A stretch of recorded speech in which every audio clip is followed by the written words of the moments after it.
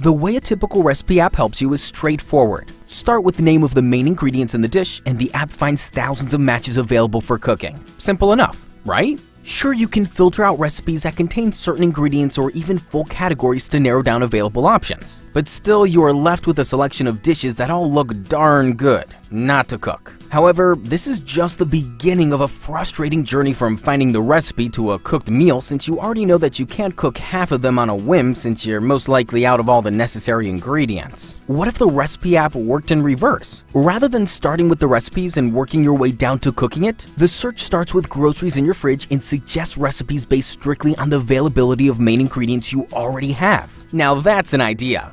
Introducing Smart Stocking, the only app you need for worry-free home cooking by making recipe suggestions for what can be cooked with the groceries that are in your fridge. Register for a free account at smartstocking.com today.